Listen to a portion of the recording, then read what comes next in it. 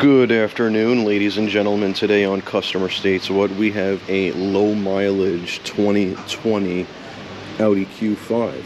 We're going to be going through a used car inspection and the maintenance that goes along with it. Let's get into this.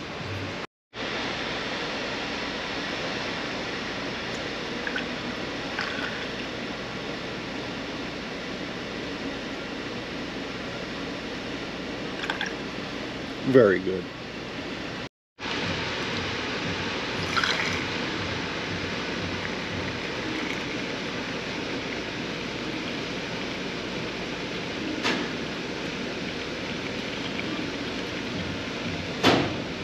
Guess we're going for the long pour here, guys.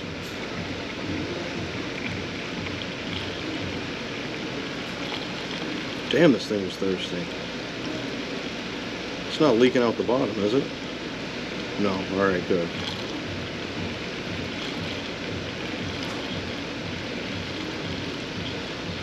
Freaking 10 years later.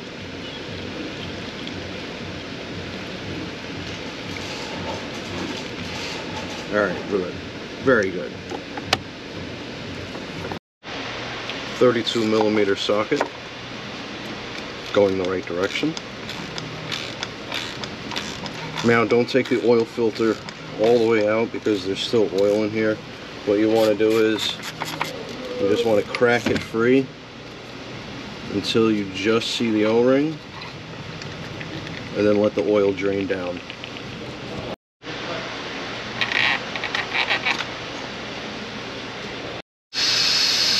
Now that we have our sucker under full vacuum and we got our plug out, we're going to start sucking the oil out.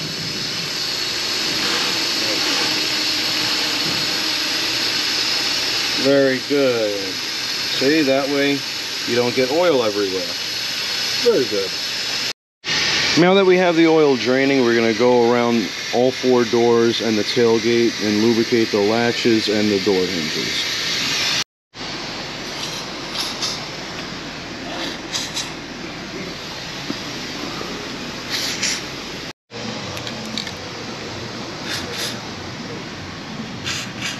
Is the driver's rear door.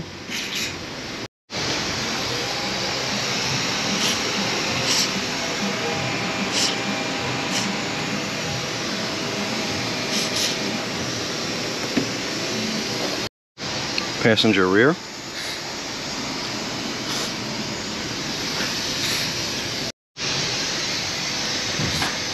Passenger front. Very good. When we go through the interior, we go through all the safety features. We make sure all the seatbelt inertias work. We make sure all the seatbelts buckle. And we already have done that to the front and to the rear. We are also going through all the buttons, make sure they work.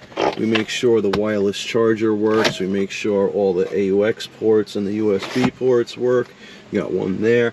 We got one over there. Make sure the navigation works. No warning lights. Make sure all the buttons on the steering wheel and the paddle shifters work. So far, we didn't find any issues with the interior. Sunroof is good. All the overhead buttons work very good. We don't really have a garage door to program that, but uh, there are no faults stored in the vehicle for it, so we could safe to safely assume that it is operational. So other than that, uh, we also look for any damage in the interior, any perforations in the leather, uh, any damage to the wood grain. It's dirty in here, but uh, nothing's damaged. So yeah, we're gonna move on out of the interior into the exterior. So now with any inspection, you walk around the vehicle, you want to check the body seams, you want to check the paint for any scratches. Looks like we have, oh, that was a little speck of something. That's not that bad. We check the body seams on the door, the roof line, we check the roof for any dents, we check the bumpers for any dings or anything like that because these corner lights are a common area to ding up and to crack. And when they crack, they fail. So yeah, we walk around the vehicle top to bottom, make sure all the lenses are good, make sure all the gaps are good, and we keep it moving. One of the most important things on every oil change, Make sure you replace the O-ring, your goon bars, always.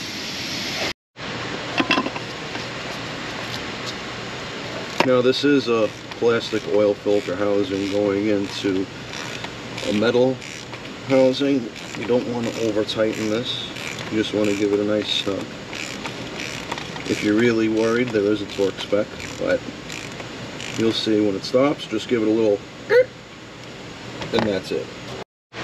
Well, alright guys, we just completed the oil change service, or I should say the 30,000 mile service. All fluids are topped off to their proper levels where needed. Coolant, washer fluid, brake fluid is right where it needs to be, but we are doing a brake fluid exchange today based off of the age of the vehicle, not the mileage. Usually the brake fluid exchange is every 20,000 miles, but since it hasn't been done, we're performing it today. Very good. If you guys don't know what comes next, let's take it up top. So now that we have taken it up top, we're going to look around. We're not going to find any flavor here, ladies and gentlemen, because it's a 2020 with just over 9,000 miles. So with that being said, we're just looking for damage, making sure there's no damage. This is a well-known area on Audis for customers to hit. Uh, we don't see anything. Exhaust is looking good. Rear suspension's looking good. We got some minor flavor, but that's it's gonna happen. No matter what car you have. Alright, that looks good. Everything looks good under here. I don't see any damage or any body shop work. That's always a good thing. Very good, very good, guys. All right, let's get these wheels off and uh, take some measurements. And uh, we're gonna measure the tires, measure the brake pads, measure the brake rotors, and uh, we're gonna finish assessing the vehicle. Very good. We have our tire pressure. We're gonna set 33, 36, but since it's winter time, we're gonna do 36, 36. All right, guys, so there's going to be a lot of information here that I have to write down and inspections I have to do. Here we have tire measurements. We're going to have three different numbers here because we measure across the tire. That's for all four tires. We have two millimeter measurements here. One's for the brake pads, one's for the rotor. Here we have the new spec of a rotor. Here we have the wear limit, and here we have what spec of brake it is. Here we have the DOT number of all four tires. So remember how this looks? All this information is going to be filled out. On our road test, we only really needed front wiper blades. They were given a little bit of chitter chatter. So let's get into this. These are the three tools that I'm using to measure the brakes and tires. We got a tread depth gauge, we got a brake pad measuring device, and we got a digital micrometer.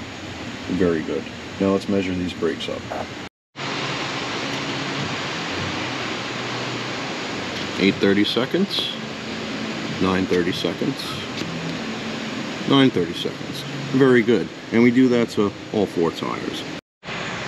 Alright guys, sorry for the tilted picture here, but here we are at location. We're at the left front tire. Excuse me, we're at the left front rim.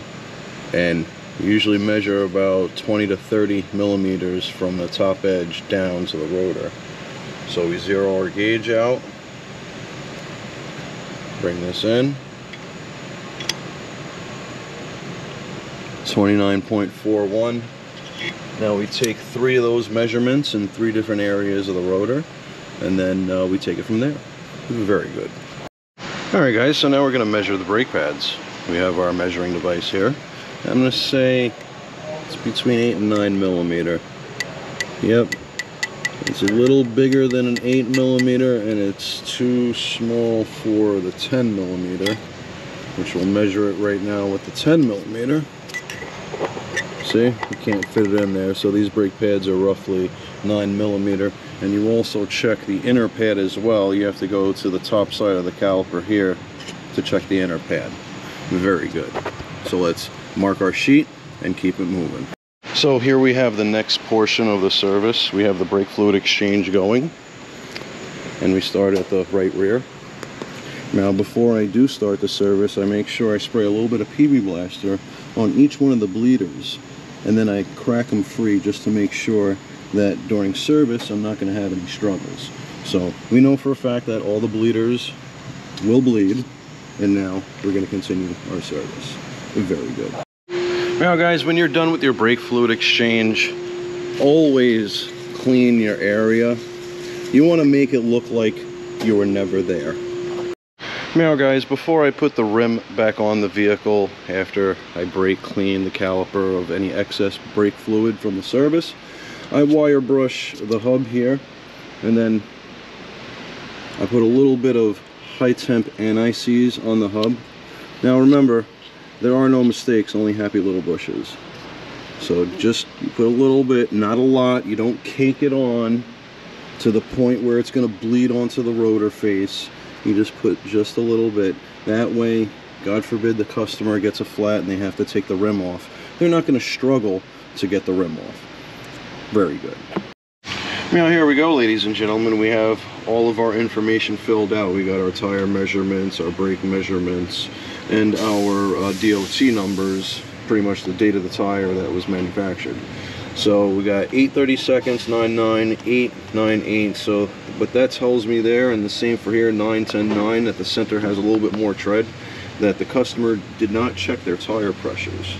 Because if, was, if they had good tire pressure, it would be the same across the board or if they had it over pressured the center number would be lower than the outer numbers now here we have our brake measurements we are well within specifications the limit is 28 and brand new rotors are 30 we're at 29.41 so we roughly lost a little over half a millimeter there a little more than half a millimeter there goes for the same there 20 22 are the limits and the brand new so yeah we're, we're, we're going good we already put brand new wiper blades. We performed the 30,000 mile service and we also performed the brake fluid exchange.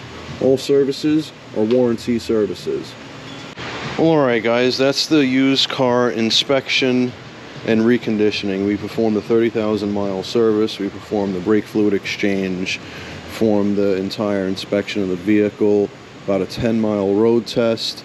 Everything was good. The only thing that we had to put into this vehicle, oh, oh, oh, oh, oh, oh Let's get that out of there. We don't want to leave that there. So, only thing that we had to do to this vehicle after trade-in was update it on all of its services because uh, they haven't been done and brand new wiper blades. They're very good, guys. If you don't know what to do yet, please like, subscribe, hit that bell notification for further content.